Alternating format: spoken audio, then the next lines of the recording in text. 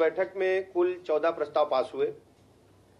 चार प्रस्तावों के बारे में हमारे आदरणीय पर्यटन मंत्री जी ने और लोक निर्माण विभाग की जो महत्वपूर्ण एक परियोजना थी, उसके बारे में आदरणीय वित्त मंत्री, हमारे वरिष्ठ साथी आदरणीय खन्ना जी ने पूरा आपको बताया है। इसके अलावा जो महत्वपूर्ण हमारे सामने था, एक विषय लखनऊ में national centre for disease control, NCDC का एक केंद्र यहाँ पर खुलना है। लखनऊ के सरोजिनी नगर में उसके लिए ज़मीन चिन्हित कर ली गई है और उसको लीज पर दिया जाना है, एनसीडीसी को, national centre for disease control को। और उनकी शर्त ये थी कि जो निशुल्क ज़मीन देगा, वहीं वो खोलेंगे। पूरे भारतवर्ष में ऐसे छह सेंटर खोले जाने हैं। उसमें लखनऊ का भी है। शुल्क ज़मीन दिए जाने को लेकर के हम लोग यहाँ आए थे। वो तीस वर्ष के लिए ढाई एकड़ ज़मीन सरोज नगर के जैती खेड़ा में दी गई है। ठीक है? हमारे जो चिकित्सा विभाग में लैब असिस्टेंट के पद होते हैं।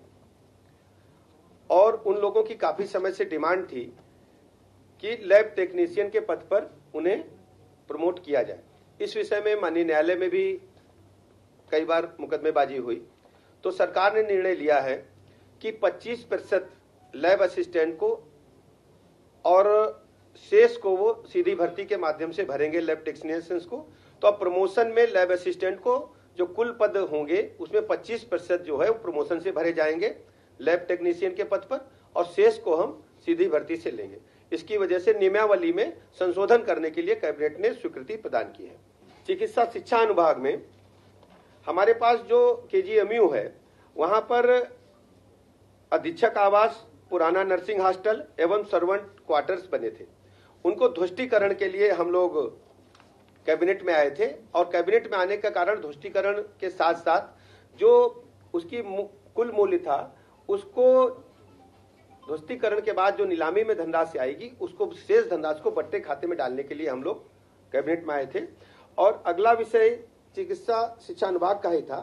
ग्रेटर नोएडा में हमारे पास राजकीय आयुर्वेदिक आयुर्विज्ञान संस्थान है, जिसको चिकित्सा अनुभाग चलाता है, चिकित्सा शिक्षा विभाग चलाता है, और इसमें हॉस्पिटल की बिल्डिंग जो थी वो हमारे पास मिल गई थी, उसमें हॉस्पिटल हम रन कर रहे हैं। और उसके पास में हमको जो गौतम बुद्ध यूनिवर्सिटी है, उसके कैंपस में हमने अभी एकेडमिक ब्लॉक के लिए जगह किराए पर ले रखी है बिल्डिंग। पास में ही लगभग छप्पन एकड़ लैंड खाली पड़ी थी, जिसको खरीदने का प्रस्ताव ग्रेटर नोएडा अथॉरिटी से हमने लिया था।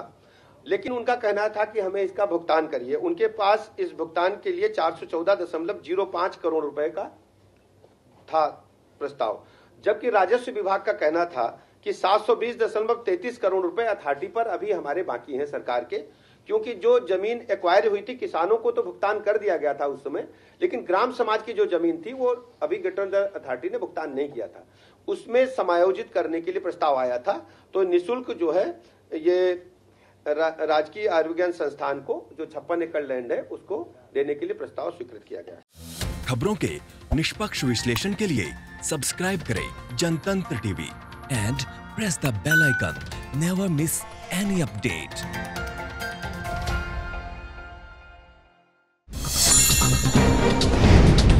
download कीजिए जनतंत्र टीवी ऐप को जो कि अवेलेबल है गूगल प्ले और ऐप स्टोर पर। अधिक जानकारी के लिए अभी डाउनलोड करें।